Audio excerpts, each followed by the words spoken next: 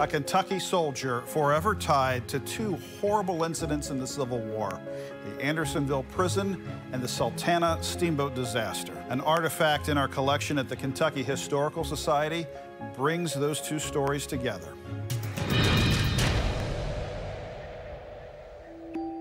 Well, the Kentucky Historical Society is really lucky to have a number of objects in our collection related to prisoners of war, and a couple of those pertain to POWs who served in the Civil War. One very unique item we have is a wooden block that was carved by uh, a Union soldier in the 6th Kentucky Cavalry named Edmund Parrish. And Parrish had been captured late in the war and uh, was confined at Andersonville Prison in Georgia. And while he was there, he ended up uh, carving an ornate wooden block. Uh, spending his time, he was probably bored, probably hungry, so uh, he filled his hours by carving this block. The, the, block includes names of battles in which he probably participated in in Tennessee, also has an eagle and a shield on it.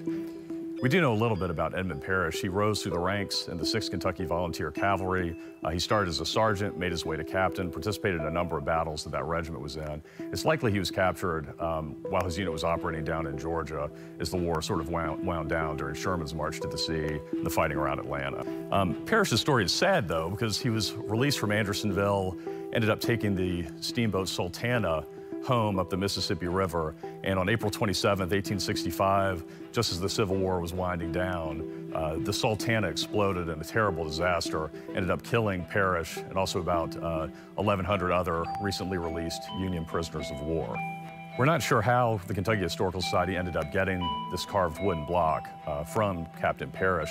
We don't know if it was found on his body after the Sultana disaster. We don't know if he sent it home while he was a prisoner. But it's an incredibly unique piece for us to have because it, it links a Kentuckian to two incredible stories.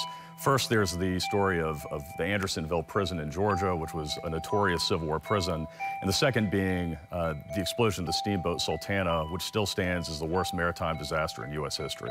To learn more about this Civil War artifact, visit us online at history.ky.gov. From the Kentucky History Center and Museums in downtown Frankfort, I'm Doug Howe.